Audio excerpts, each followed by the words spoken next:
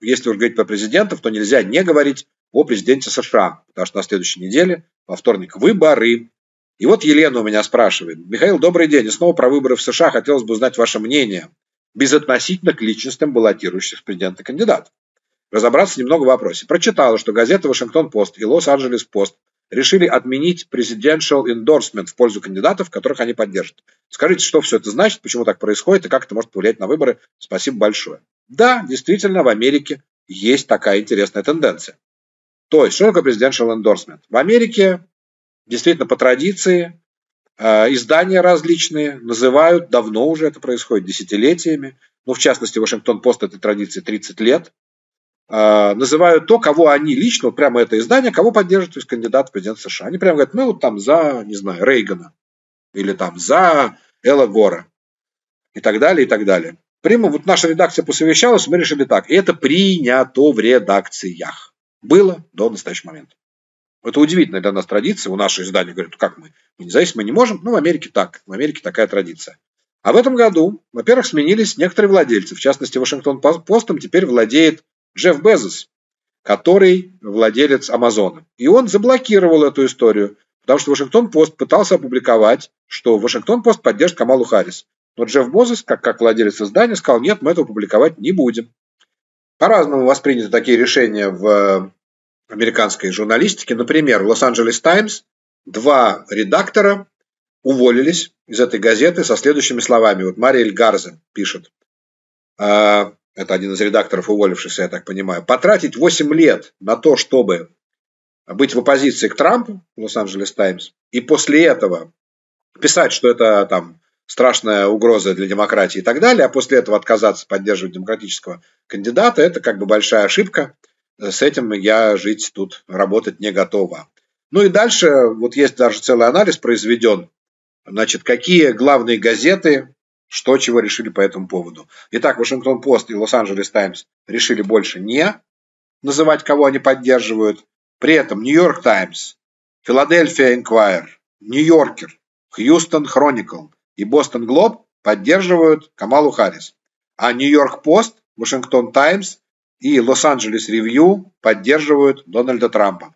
Ну, кстати, Нью-Йорк Пост и Вашингтон Таймс это все а, мердоковские издания, а Лас-Вегас, а Лас-Вегас Ревью, честно, не знаю, чье издание. Ну, так как-то пресса поддерживает одних, поддерживает других. Э, тем временем на выборах там в Америке есть интересные события. Трамп переоделся в мусорщика, в коммунальщика, чтобы раскритиковать слова Байдена и проехался на мусорном грузовике с надписью «Трамп, сделаем Америку снова великой». Ну, молодец Трамп, что? Он делает действительно такую яркую кампанию. Он ездил в Макдональдсе, работал уже, мусорщиком поработал уже. Для меня, честно, но это для меня лично, это выглядит как-то что-то очень устаревшее. Ну, типа, это же Путин 2000 года, в смысле, когда он летал с журавлями, там, нырял за амфорами и так далее. Прям Путин 2000, Трамп 2024. Ну, так себе стрёмная, мне кажется, история. Но я уверен, что есть американцы, которым это нравится, именно такой подход. Поэтому выбирать будут между кем и кем. Камала Харрис даже не пытается, естественно, соревноваться с Трампом в таких экстравагантных поступках и в таком популизме, что ли. Поэтому э, избиратели будут выбирать вот такой яркий, крутой, креативный Трамп или достаточно, я думаю, последовательная и, но при этом не производящая ярких акций Камала Харрис, я не знаю, я отошел в сторону, за меня говорит Арнольд Шварценеггер. Но не за меня, просто говорит Арнольд Шварценеггер. И он не говорит «А, столовиста бэби», отпуская одного из кандидатов, хотя, по сути, говорит – он заявил, что проголосует за Камалу Харрис. А вот это уже действительно удивительно, это уже почти сенсация, потому что, вообще-то, как мы помним, Арнольд Шварценеггер был на протяжении двух сроков этим губернатором Калифорнии. Причем губернатором Калифорнии Арнольд Шварценеггер-то был от э, демократической партии, э, от, извините, от республиканской партии, а не от демократической. И сейчас то, что он выступает в поддержку Камалы Харрис, ладно, там выступил Роберт Де Ниро, понимаем. Ладно, Леонардо Ди Каприо, тоже понимаем он утонул все равно в Титанике. Но Шварценеггер, республиканец Шварценеггер, это как бы символ того, что все-таки есть же, знаете, движение, там республиканцы против Трампа, республиканцы за Камалу Харрис, и он, похоже, становится лидером этого движения. Но мы этих всех людей оставим в покое, я просто сообщаю, что есть, как есть. Кстати, думаю о том, как мне на следующей неделе освещать президентские выборы. Как-нибудь буду освещать, если есть мнение и желание, что бы вы хотели от меня услышать, пишите. А, да, потому что там будет некое ночное ралли, что ли, по поводу этих самых выборов. Ну а сегодня у нас тоже своеобразное ралли, 31 октября. Кстати, этот День всех святых, правильно? День всех святых, или как это называется? Хэллоуин. Да, Хэллоуин. А нет, завтра, видимо, День всех святых, сегодня Хэллоуин. Ужас, ужас. Но я, собственно, сегодня поэтому ужаса на вас и наводил. Соединенные Штаты, оказывается, оказывается, намерены защищать Южную Корею всеми видами вооружений, включая ядерное оружие. И об этом заявил глава Пентагона Ллойд Остин на встрече или в разговоре, не знаю, телефоном, с министром обороны Южной Кореи Ким Йон Хёном. Вот так. Соединенные Штаты, полностью привержены обороне партнера и обязательства по расширенному сдерживанию, остаются непоколебимыми. Эта значит, решимость подкреплена всем спектром американской обычной противоракетной обороны, а также ядерными и передовыми неядерными возможностями. А так можно было? А так можно было? А получается как? Подождите, Соединенные Штаты по-прежнему привержены, то есть ядерным оружием готовы защищать Южную Корею от Северной, но ядерным оружием не готовы почему-то защищать Украину от России. Ну подождите, вы точно так же вписались. Будапештский меморандум – это ваша чистая вписка на то, что да?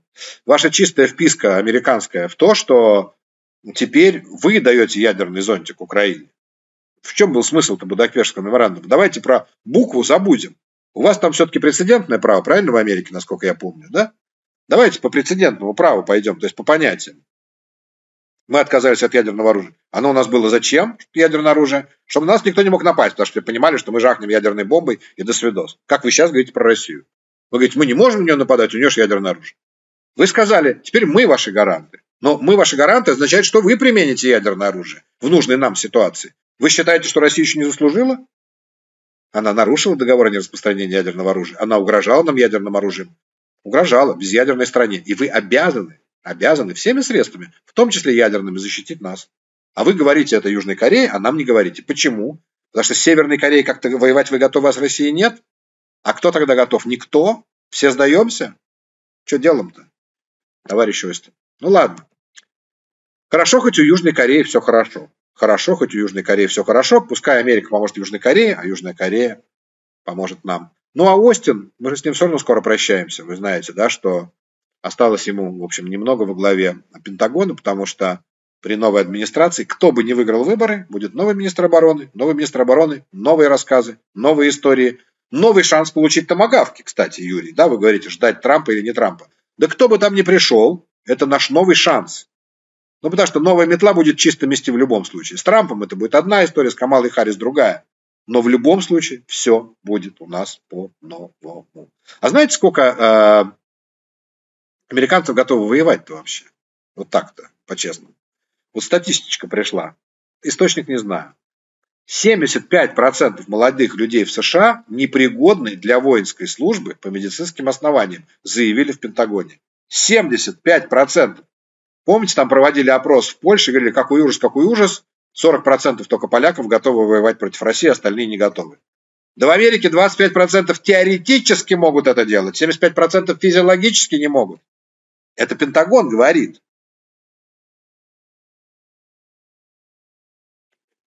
Поэтому, когда вот тут недавно кто-то в Фейсбуке там пишет, вот посмотрите, какое огромное количество значит, украинцев сбежало в Европу, там зарегистрировалось 800 тысяч мужчин. Ребят, 800 тысяч мужчин из Украины – это 5-6% мужчин Украины. 5-6% стали беженцами. А в, а в Америке 75 не могут воевать. Поэтому говорить, что украинцы там, не дай бог, разбежались или там массово ухилянты, так нет.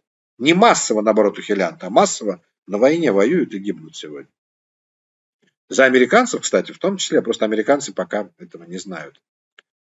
Ох, поэтому, так как американцы этого не знают, то все продолжается и все успехи. Да, давайте сегодня будет такой выпуск, где я буду говорить об успехах России. Снова большие успехи у россиян. Снова большие успехи у россиян. Атаковали 43 дронами и ракетами, 10 примерно ракет, по а нет, 8 авиаракет они выпустили сегодня ночью. И все 8 авиаракет были на Одесскую область, на мост через Днестровский лиман в Затоке в Одесской области. Надеюсь, теперь я правильно говорю слово «затока», Почему теперь? Потому что когда первый раз россияне атаковали этот самый мост в Затоке, это было в 22 году осенью, и тогда я говорил Затока, а сейчас я говорю Затока. Надеюсь, я правильно теперь говорю.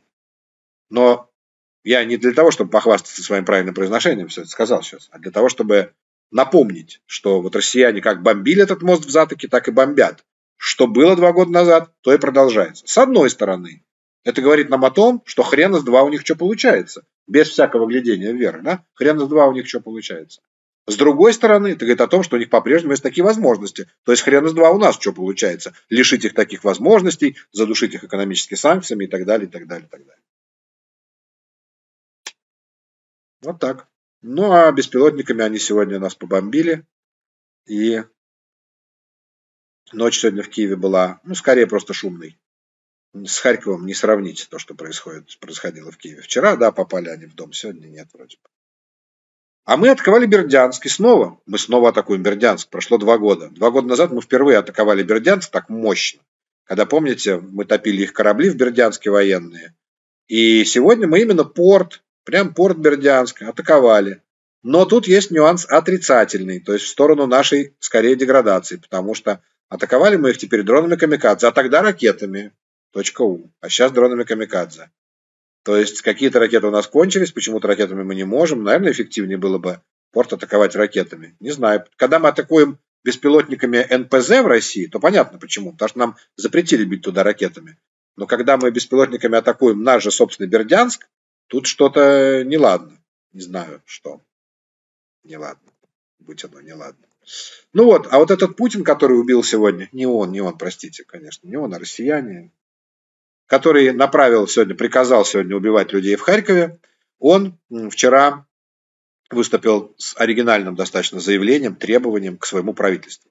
Он значит, поручил правительству Российской Федерации Федерации создать программу «Сделано в России» для продвижения российской продукции за рубежом под брендом «Сделано в России».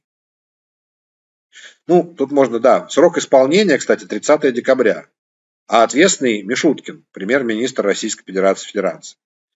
То есть, с одной стороны, Мишустину не позавидуешь. У него всего два месяца, чтобы подготовить программу, сделанную в России. С другой стороны, Мишустину не позавидуешь. Что они будут выставлять? Разбитые дома? Убитых людей? Это же сделано в России. Что-то еще сделано в России? Есть еще какие-то достижения? А снаряды они будут продавать? Что? Что, что они сейчас делают в России? Из танков Т-52 делают танки Т-90.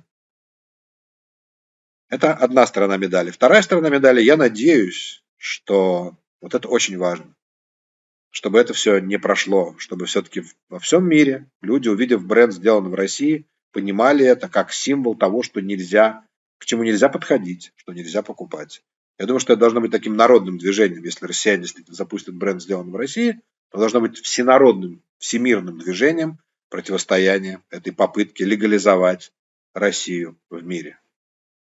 Меня вот спросили, русская оппозиция собирается через две недели, по-моему, проводить в Берлине демонстрацию массовую, типа. Что они там требуют? А, будут требовать, кстати, вывода, Укра... вывода российских войск из Украины. То есть требования вполне, которые мы абсолютно разделяем. И дальше пошла дискуссия в сети на эту тему. Причем там от имени русской оппозиции, там, грубо говоря, они объединили большие силы. И пошла дискуссия на тему того, что ну вот, что это они там шляются, за какой смысл, что они будут в Германии требовать от России чего-то там. Я считаю немножко по-другому, что российская оппозиция пусть делает то, что она считает нужным. Это их методы, это их борьба, пусть борются как могут. Вот когда мы возмущаемся тем, что нам что-то советует российская оппозиция, точно так же мы не должны лезть в их дела. Мы должны приветствовать их всячески. Делайте что-нибудь уже лучше, чем ничего. Уже лучше, чем э, ну, это самое, чем они бы на Донбассе сейчас наших убивали, правда? Пусть лучше по Берлину ходят и требуют вывода украинских войск из э, российской... Ой, российских войск, извините, из Украины. Извините, заговариваюсь. То есть это лучше, точно лучше, чем они нас убивают. Эти русские точно лучше, чем те. Тут нечего сравнивать. Но, отвечая на вопрос о том, что я про это думаю, я сказал, главное наше, украинское условие, по-моему, одно. Чтобы без российских флагов. А то ведь там раздавались уже голоса, что надо нам ходить. Я серьезно слышал, вот этот человек, который вышел там из тюрьмы, когда по обмену пленными, этими заложниками, да, что надо, почему вы здесь стесняетесь ходить с российскими флагами по Европе? Нам надо поднять российский флаг, ведь это флаг там чего-то там. Нет, ребят, русская оппозиция. Ваш российский трехцветный флаг – это флаг убийц, это флаг того, что происходит сегодня. Это вот под этим флагом летает самолет, который убил сейчас жителей Харькова. Сегодня ночью. И другого смысла у этого флага больше нет. Эти флаги развешаны по оккупированным нашим городам в Мелитополе, в Бердянске, которые мы сегодня обстреляли, висит вот этот трехцветный флаг. В оккупированном Луганске висит этот аквафреш, так сказать, ужасный, правильно? И вы еще и в Германии вы собираетесь вывешивать этот российский флаг? Нет уж, ребята. Вы должны понимать, что этот флаг обгажен навсегда. Если вы это не признаете, то боюсь, что не будет никакого шанса на то, чтобы восстановление отношений, а вот тоже не с кем нам будет вести диалог. С людьми, которые под этим флагом мы можем вести только перестрелку, а не диалог. Простите. Пожалуйста. Еще одна новость из России. Вот это меня заинтересовало своей, не знаю, абсурдностью. Но в Государственной Думе Российской Федерации попросили возбудить дело, и, похоже, там уже успели за одни сутки далеко продвинуться, а, против телеканала «Дождь». Ну, про телеканал «Дождь» мы много чего говорили, и критиковали, и не критиковали. Кто-то поддержит, кто-то не поддержит, кто-то смотрит, кто-то обвиняет в чем-то. Сейчас давайте мы точно скажем одно. Люди с телеканала «Дождь» – это точно люди, которые против Путина, как минимум. Это точно люди, уехавшие из России, не присоединившиеся к... Я сейчас говорю про работников телеканала «Дождь». Я не знаю владельцев, ну, работники, журналисты телеканала «Дождь» точно занимают антивоенную, антипутинскую позицию лично. А тех, кто занимает другую, выгоняют, как мы помним. По одному примеру. Вот. Знаете, в чем обвиняют телеканал «Дождь»? Вот это самое потрясающее. Раньше его обвиняли там, в фейках против э, российской армии, там, что там, Путина и так далее. Но, внимание, сейчас я вам зачитаю э, дискредитация саммита БРИКС в Казани. А? Вот это красивая статья. Дискредитация саммита БРИКС. Да-да-да. В частности, установлено, это у них решение, что несмотря на запрет деятельности в России, зарубежная организация, телеканал «Дождь» свою деятельность не прекратил и в течение нескольких месяцев под гарантией анонимности делала попытки установить контакты с жителями российских регионов с целью получения сведений военного характера, а также сбора информации для создания фейков о саммите БРИКС. То есть, заметьте, в России прибавилось священных коров. Раньше, я помню, в России было запрещено, это как это называется-то, оскорбление чувств верующих. Окей. Потом запретили оскорбление чувств верующих в российскую армию. То есть это назвали фейки о российской армии, за что посадили Яшину, там, многих еще. Фейки о российской армии. Что значит фейки? Они, Яшин просто рассказывал, что россияне делали в Буче, рассказывал правду. А теперь, значит, фейки про БРИКС. То есть БРИКС приравняли к российской армии. Чувствуете? Православная церковь, патриарх Гундяев, э, армия, БРИКС. Православие, самодержавие, народность. Понимаете? Народность, ну, православие – это вот православие. Нельзя, э, запрещено вот это против церкви выступать, оскорбляя чувства верующих. Самодержавие – это БРИКС, а народность – это армия, потому что в армии служит народ, он пошел в едином порыве практически воевать, а, а значит, православие – это вот БРИКС, БРИКС. То есть БРИКС стал священной коровой, нельзя его оскорблять, потому что там был премьер-министр Эфиопии. Это нельзя рассказывать фейки про то, как приезжал премьер-министр Эфиопии. Там был глава Палестины Махмуд Аббас, нельзя про это рассказывать, фейки. Там был Гутерриш, руководитель ООН, а тут фейки про БРИКС. Вот интересно, какие они фейки про БРИКС вообще рассказали? Ну, фейками про российскую армию назвали то, что российская армия ну, совершает действительно преступления постоянно против гражданского населения Украины. А фейки про БРИКС, что, не знаю, Гутерриш сожрал 10 жителей Казани или в чем там фейки, интересно, про БРИКС. Но интересно, то есть настолько унизительные новости прошли про этот саммит э, российский, что теперь россияне вынуждены, российское руководство вынуждено защищать саммит БРИКС от телеканала «Дождь». Не знаю, есть в этом прямо великая, как мне кажется, пост-ирония. А вот есть человек, который прямо создал фейк про БРИКС. И его пока на него дело не завели, потому что этого человека зовут Лукашенко. Значит так, Россия не имеет к событиям в Грузии никакого отношения, заявил Лукашенко. Это про Грузию, да? Про выборы. Я это знаю точно, говорит Лукашенко. То есть он точно знает, что Россия не имеет отношения. Вот сука какая, да? Он что, сидел в Грузии и держал, так сказать, этот самый свечку возле избирательного участка, что он знает, что Россия не имеет отношения. Как это можно знать? Хотя, говорит, мы действительно переживали за грузин на саммите БРИКС. переживали за грузин на саммите БРИКС. Вот интересно, как они там на саммите в Казани переживали за грузин? А? Вот сидит, значит, генсек ООН, правильно, Гутериш, говорит, ай-яй-яй, слушайте, так переживаю за грузин, что чак-чак кушать не могу. Как они там сейчас в Кутаисе мерзнут возле избирательных участков? Так получается, да? Или сидит, значит, кто там, премьер-министр Шри-Ланки вместе с президентом Египта, президентом Объединенных Арабских Эмиратов и президентом ЮАР, и такие, как мы переживаем за грузин? Давайте, может быть, тост за грузин, чтобы мы нам за них меньше переживали. Я думаю, что Лукашенко все это придумал, конечно, как они сидели, переживали за грузин, поэтому это фейк о саммите БРИКС. А на самом деле обсуждал ли он с Путиным то, как именно Путин собирается украсть выборы в Грузии? Конечно, обсуждал. Но вы привлеките его там к ответственности вместо телеканала «Дождь». Пока США попытались привлечь к ответственности 400 человек и компаний за помощь Российской Федерации с обходом санкций. А представитель Госдепа Мэтью Миллер сказал, что речь идет о тех, кто способствует войне России против Украины, помогая России обходить санкции, получать необходимые для нее военные машины. Мы просим использовать все доступные нам инструменты, чтобы обеспечить ответственность России за совершенные преступления. В санкционном списке, новом американском, десятки компаний из Китая, Индии, Малайзии, Таиланда, Турции, Объединенных Арабских Эмиратов. Узнаете? Хе-хе, снова БРИКС, снова БРИКС, которые импортировали в Россию, в частности, микроэлектронику, компоненты важные для авиации и российские компании, выступавшие контрагентами-импортерами. То есть прямо новый БРИКС. Это прям чисто клевета и фейк БРИКС, только уже от лица Госдепартамента США. Кстати, Беларусь тоже вошла в этот, естественно, список. Пятеро новоназначенных заместителей министра обороны России, а также серия российских предприятий, где ремонтируется военная техника, производство технологии, а также организации, связанные с военным сотрудничеством России и Беларуси. То есть против белорусских компаний тоже введены санкции. Ну а из приятных таких бонусов для нас то, что пытается все-таки Америка закрыть россиянам вот этот проект, где они за, за добывают газ, Арктик СПГ-2, потому что наложила санкции на перевозчиков оборудования для этого проекта и на сеть судоходных компаний из Объединенных Арабских Эмиратов и Сингапура, которые участвуют в закупке судов для транспортировки сжиженного газа компании «Новотек».